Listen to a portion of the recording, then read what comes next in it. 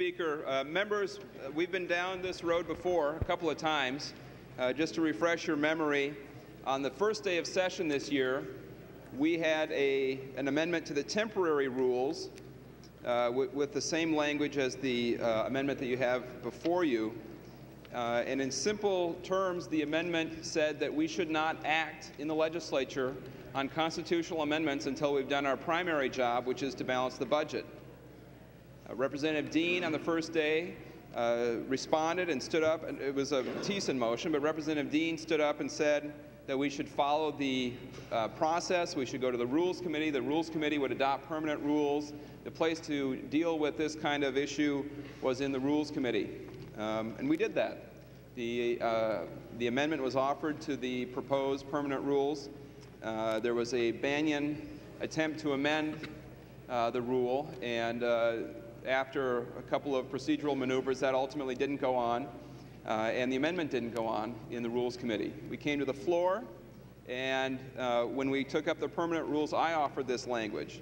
Same thing. We shouldn't be offering and dealing with constitutional amendments in the legislature until we do our first and foremost job, which is to balance the budget.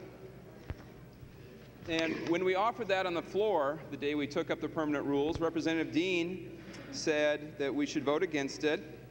He said that I was the only one who was bringing up constitutional amendments and social issues, that the Republicans weren't doing it and didn't have any intention of doing it. And so the, the amendment was defeated.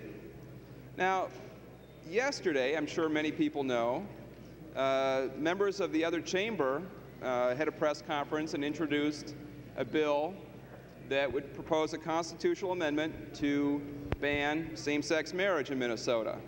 Representative Gottwalt was a participant, and it hasn't been introduced today, uh, but I expect it will be based on the comments from the senators soon. Today we have a bill introduction from Representative Kiffmeyer, a constitutional amendment to require Representative Winkler, ID. one second. Members, please, if you could, take your conversations to the alcove, please, or even better yet, the retiring room, so that all members are able to hear the floor debate. Thank you, Representative Winkler. Uh, Thank you, Mr. Speaker. I'll try to speak up a little bit, too. Uh, the, uh, so uh, today we have in the bill introductions a constitutional amendment on a very divisive issue, a partisan issue regarding photo ID. Now, some might say it shouldn't be partisan, uh, but it is. And it has nothing to do with balancing the budget. It has nothing to do with jobs. It has nothing to do with families and their security. It has nothing to do with anything except elections. And it has no bearing whatsoever on the budget that we are supposed to balance.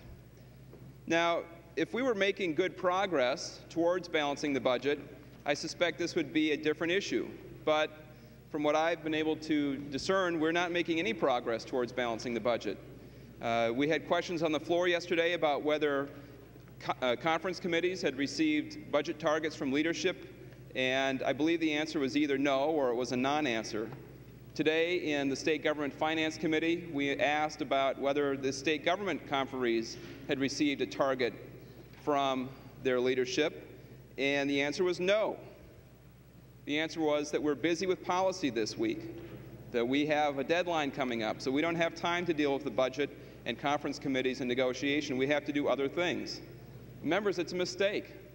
We've got 26 days.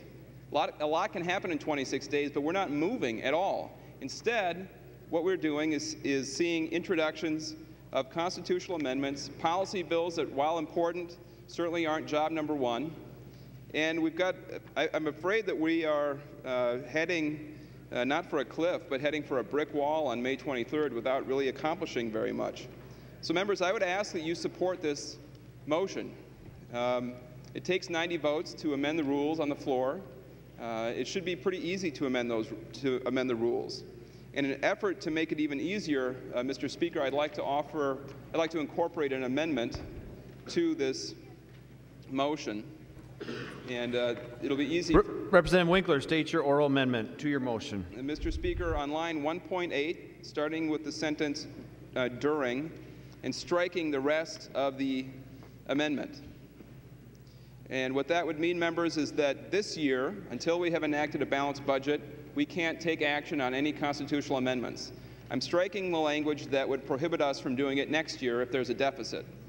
So what the, as amended, uh, and as I incorporate this, um, as amended, the, the rule would simply say that as long as we have not balanced the budget, we, should, we will not take any action on a constitutional amendment.